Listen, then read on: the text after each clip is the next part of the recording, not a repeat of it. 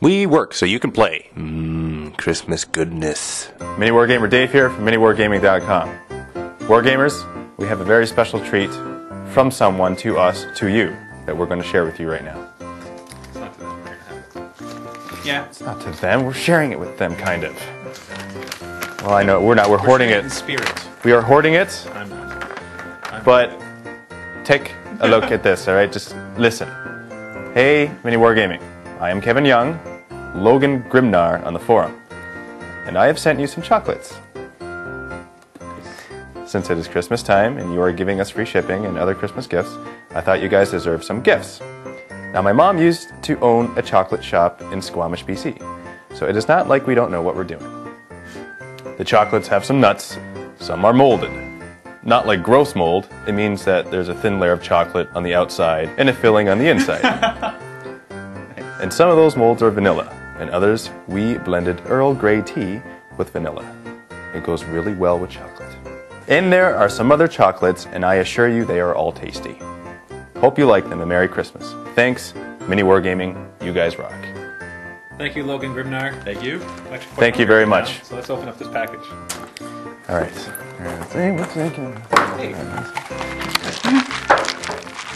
Better than that. Uh, Oh, I got Oh. Oh. This has got to be full of marshmallow or nuts. Let's find out. Mm, those are nuts. Mmm. Oh my god. I got the molded ones. Oh, chunkies.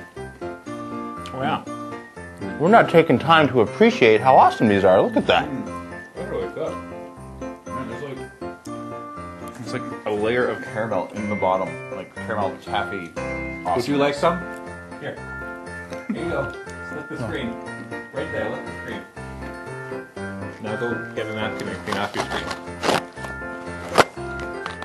Alright. These chocolates are mine. I think they this a look one at has them nuts in it.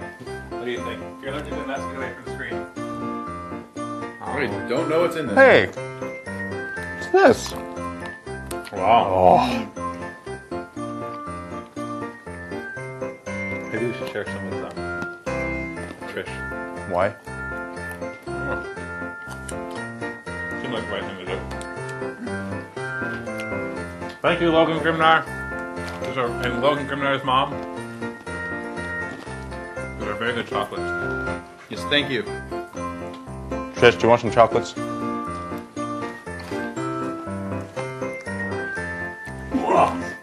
Oh, here's Mike's dog. Do you guys probably remember this dog from the 100 Orcs in 8 Days? She played a lot of time on the couch. She's in the office today.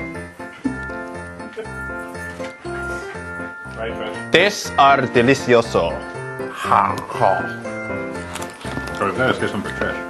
There's plenty here.